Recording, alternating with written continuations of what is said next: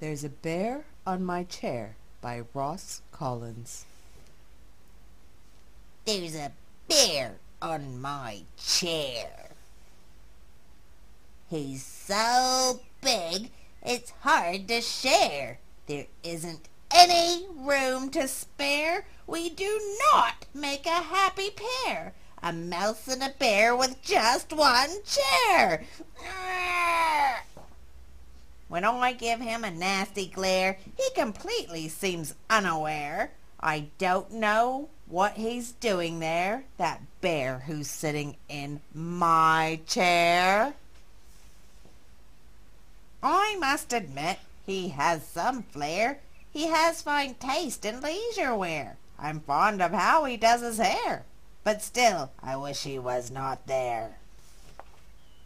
I'll try to tempt him with a pear, to lure him from my favorite chair.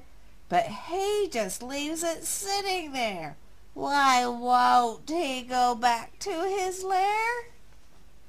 Perhaps if I give him a scare, I'll jump out in my underwear. But no, of course not. He does not care. That stinky bear sat on my chair. I understand that bears are rare. I know they need the utmost care. I know all that. I am aware.